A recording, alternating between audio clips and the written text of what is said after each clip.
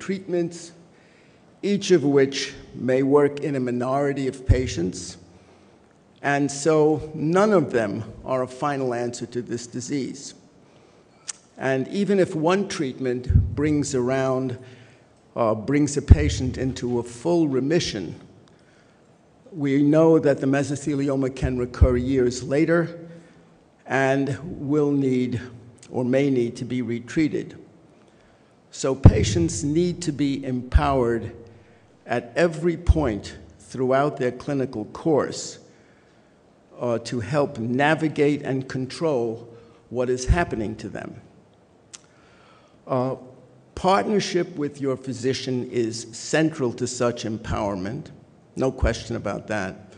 But the actual energy comes from your own knowledge of the biology of your disease, its extent and its operability, how it impacts on your prior personal medical history and any other illnesses, and knowledge of available treatments, their feasibility, their risks, their su success rates, and their benefits. So, what type of disease are we talking about? Mesothelioma comes in several flavors. The epithelioid, which often causes fevers and night sweats and is the best kind to have. The mixed or biphasic type, which is worse. And the sarcomatoid type, which can cause severe chest or abdominal pain, is usually associated with limited operability and a rapid downhill course, and perhaps it's the kind that should receive more aggressive treatment earlier. So that is, it's important for patients to know the precise subtype of mesothelioma and to discuss their prognosis with a knowledgeable mesothelioma clinician who in turn is going to get input from a good pathologist. You need to review any other illnesses you may have had prior to or concurrent with the mesothelioma and how it may affect your ability to undergo treatment. Prior heart or lung disease or a heavy smoking history will affect your chances of tolerating major lung surgery. Kidney disease or liver disease will affect your ability to tolerate cisplatin or other commonly used mesothelioma chemotherapeutic drugs. And most patients with mesothelioma do have, uh, because of the age group of the disease, do have one or more comorbidities that have to be taken into consideration like this. You need to know the extent and operability of the disease. Surgery has been the mainstay of treatment if the mesothelioma is confined to the pleural membranes lining the lung on only one side of the chest and has not penetrated those membranes through the chest wall and has not invaded the diaphragm, not invaded the heart, not invaded the lung parenchyma, and not invaded the liver. If it has done any of those things, it usually is not operable. the operations currently done are pleurectomy decortication, in which the lining membrane is stripped from the surfaces of the lung and the chest wall, leaving the lung itself intact as much as possible. And then the extrapleural pneumonectomy, in which the lung, which is sometimes functioning, is sacrificed and removed together with the lining membranes. For abdominal mesothelioma, a cytoreductive tumor debulking operation where the tumor is simply removed to the extent possible. And intraperitoneal chemotherapy is now routinely done, as shown here. If the mesothelioma is present in both the chest and the, abdom and the abdomen, surgery is usually contraindicated as standard therapy, although we are in fact doing it in selected cases as Dr. Chabot will mention tomorrow. Now, once you have learned about your disease, the first decision for newly diagnosed inoperable patients is whether to seek conventional or experimental treatment. If you choose FDA approved conventional treatment, you have only one first line choice, and that is the combination of the cytotoxic drugs Alimta or pemetrexed and cisplatin given intravenously once every three weeks. This is an effective treatment which shrinks the tumor in about 40% of patients. However, almost all patients relapse after a few months.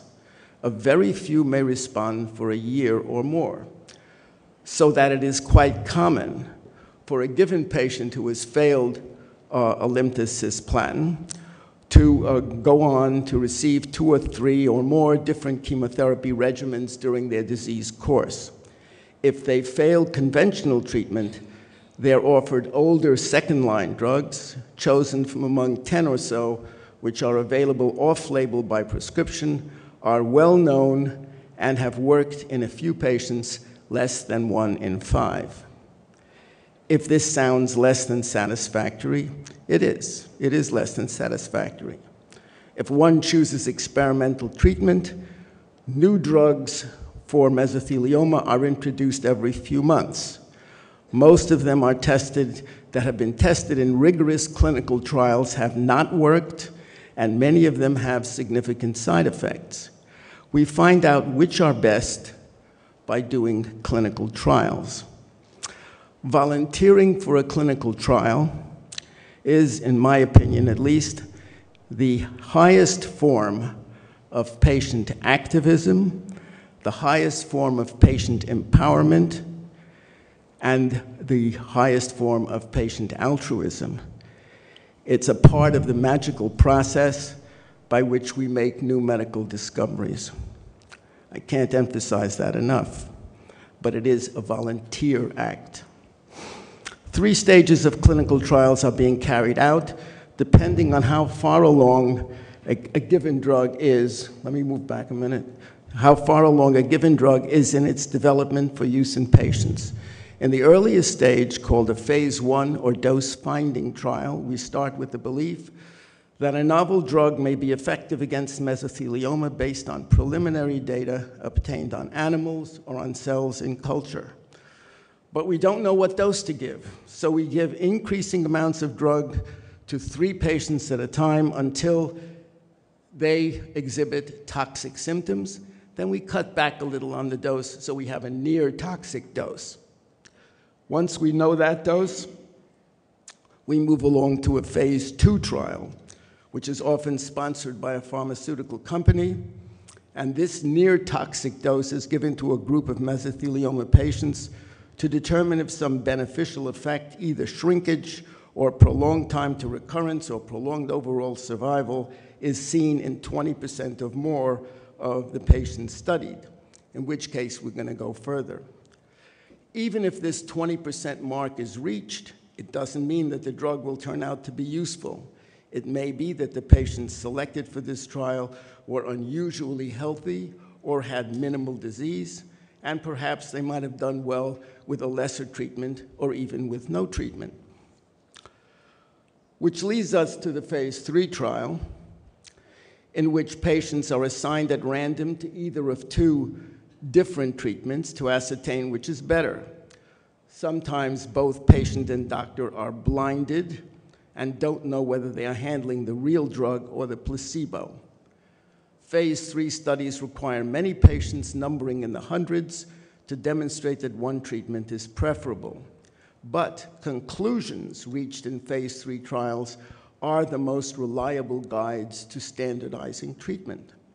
In mesothelioma, which is a rare disease numbering 3,000 cases yearly, I know of only two robust, interpretable, randomized phase three trials that were ever published, both chemotherapy trials neither of which involved surgery.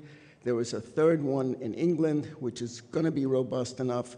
It's meant to evaluate surgical treatment, but it's still ongoing. So, newly diagnosed patients should choose a phase three trial for their initial treatment, even over FDA approved agents.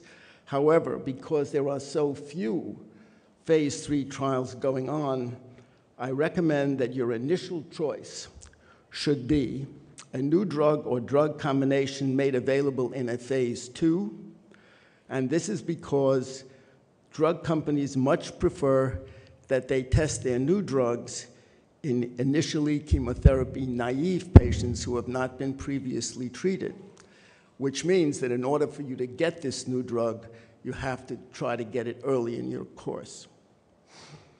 Um, also, best not to believe everything told you by the principal investigator of these phase two trials, because as I mentioned earlier, most of these drugs do not work, but nevertheless, the ones that do work may make a very big difference in treatment, and the time to get them is early in your course. If a phase two drug is not available, I would switch back to first or second line conventional treatment that has a definite likelihood of response.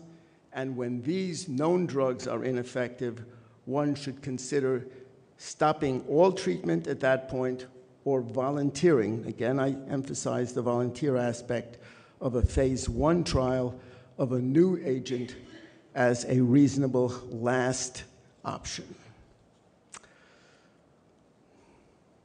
Now, the recent guidelines for the management of mesothelioma acknowledge that surgical treatment alone is not sufficient because there is always residual microscopic foci of disease invisible to the surgeon. Um, and chemotherapy is recognized now to play an important role either in securing a better response or prolonging the disease free interval. So, in considering any therapy, in particular one that involves surgery, you should always get input from a medical oncologist or a radiation oncologist at the same time. And this usually means that a second opinion should be sought at an institution that is capable of delivering multimodality care by a team of medical, radiation, and surgical oncologists, all of whom should be strongly encouraged to answer all of your questions. If your surgeon or oncologist has no time to talk to you, go elsewhere immediately. Don't break this rule for anybody. In some, in some instances, organizations like MARF can refer you to other patients or caregivers for additional input about quality of life after different treatments and about coping strategies. Often patients are gripped by a tremendous fear driven urge to try to completely remove the cancer once and for all, no matter what it takes. This impedes a rational decision, has to be thought through and dealt with. Sometimes the best course of action uh, and the happiest one may be non curative palliative treatment aimed at minimizing morbidity and maximizing life quality. Even the best surgeon is able to remove only the cancer that he sees. He can do what he terms a complete resection only a minority of the time. Similarly, chemotherapy only rarely gets rid of all the cancer. Still, many patients benefit, some greatly from surgery or chemotherapy or both, in terms of prolonged time to progression and augmented quality of life. In some of our studies, we have shown that patients who have a complete response to treatment live as long as those who have an incomplete response to treatment. So the response is there, it doesn't have to be totally complete. Best to speak with and meet other patients in your age group who have undergone surgical or chemotherapy treatment months or years before you. In addition to patients of your prospective surgeon, it is also best to find and speak with patients of other surgeons through organizations like MARF. if you are over 75 and have slowly growing but unresectable disease, and you have minimal symptoms which are progressing slowly but do not greatly interfere with activities of daily living, please keep in mind that surgery or chemotherapy may well degrade your quality of life rather than improve it. I believe that the role of doctors treating mesothelioma is to keep our patients fully informed so that they may function as normally as possible and so that we can together await the development and arrival of the definitive pill. We just take once a day, and the disease will go away forever. Thanks.